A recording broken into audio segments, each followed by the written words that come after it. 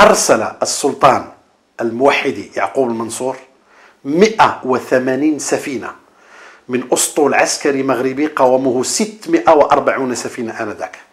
وقد وصف ابن خلدون في تاريخه المشهور هذه السفن بالضخامة والارتفاع والامتلاء بالعدة والعتاد والذخيرة والمؤن ومختلف لوازم الحرب والملاحة ووصف من كان عليها من النوتية والمهرة والملاحين والصناع والجنود والمتطوعة وأهل الله من الذاكرة المتصوفة والعلماء الذين يحفزون الناس. وفعلا حقق الأسطول المغربي دوره في هزيمة الأساطيل الأوروبية.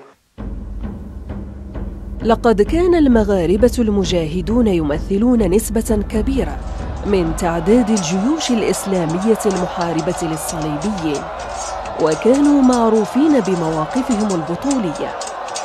بحيث كان العدو الصليبي إذا علم بمشاركة المغاربة في المعارك يغير من خططه العسكرية أو يضطر لطلب المهادنة لما يعرفه من شراسة وشهامة المجاهدين المغاربة.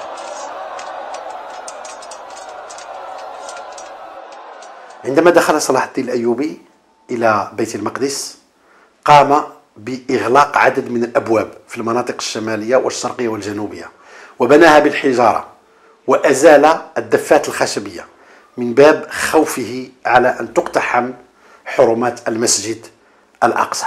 ولكن الجهة الغربية حيث البطن اللينة حيث السهولة الطبوغرافية حيث مأتى الصليبيين لم يغلق فيه صلاح الدين الأيوبي بابا بل استحدث أبوابا.